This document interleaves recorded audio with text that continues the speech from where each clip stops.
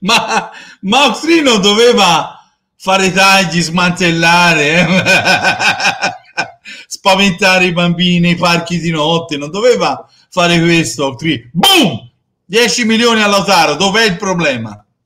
Te l'ho detto, non faranno abbassare di valore un loro asset che hanno pignorato, perché ragazzi la verità è questa, Ha pignorato l'Inter Zanghe che è stato sommerso dai debiti e te lo ha detto anche Moratti, tra l'altro una parentesi per il mio presidente, se permettete, non costa nulla, lo voglio leggere anche il giornale, va bene? Oggi il giornale lo leggo anch'io senza problemi. Allora, quello vi volevo dire, sono contento eh, del rinnovo di Lautaro, ma da un lato certe cose non mi sono piaciute. Moratti mai fatto buchi di bilancio, ho sempre ripianato, punto. Quindi a tutte quelle favole che Moratti aveva fatto i buchi destra e sinistra, dichiarazione del presidente contro Repubblica. L'ex presidente ha voluto rispondere con una lettera al quotidiano della Repubblica mai fatto buchi di bilancio, ho sempre ripianato. Prove alla mano, dice il mio presidente, ma è, ta- ma è anche il vostro, lo so che è anche il vostro. Diciamo che eh, certe cose di Lautaro Martinez a me non sono piaciute, quelle che ho ascoltato e ho visto eh, in televisione, quelle che ho letto, io non lo sapevo se rimaneva o se andava via, l'ho detto io, non lo so, certi atteggiamenti non mi piacciono, è il capitano dell'Inter stava andando troppo per le lunghe, manca solo l'ufficialità. Sport Mediaset hanno detto che le parti sono vicine.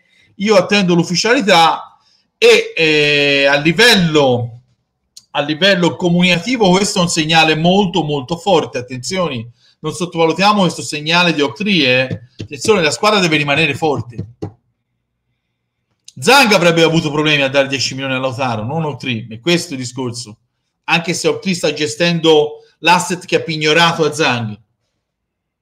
Questo è un segnale fortissimo che la squadra deve rimanere forte e competitiva e Lautaro diventa il giocatore più pagato della Serie A insieme a Vlaovic. Attenzione, attenzione. Poi lui spiegherà, eh, dov- dovrà smentire certe voci del procuratore, volevano 12, volevano 13, secondo me ha fatto la miglior scelta ritornando al video fatto, che ho fatto stamattina, basta con questo teatrino, ha fatto la miglior scelta per tranciare tutte le voci, Lautaro entra a gamba tesa, a quanto pare dice si è esposto lui, basta, firmo all'ultima offerta che avete fatto. Quindi Octrin non smantella nulla, Octri è di passaggio, Octri non ha nessun interesse di aumentare il valore dell'Inter per poi riconoscere eh, la differenza Zang, parlo soprattutto per le minchiate che dice qualcuno, Octri ha interesse nel mantenere l'Inter forte, a non svalutare il proprio asset e a cederla il prima possibile. Quando non lo so, ma sicuramente Octri è di passaggio. Quella dei 18 mesi è una cosa che non ha senso, che ho già spiegato, e poi la differenza la dovrebbero dare a Zang. Più valore, più valore a Zang, no? In riferimento a quello dite voi. Ma secondo voi i sauditi potrebbero fare un altro investimento e dare 200 milioni, faccio un esempio, ad Octree sotto forma di un altro investimento? Potrebbero investire in tutte le cose che ha Octree. Quindi di cosa state ragionando?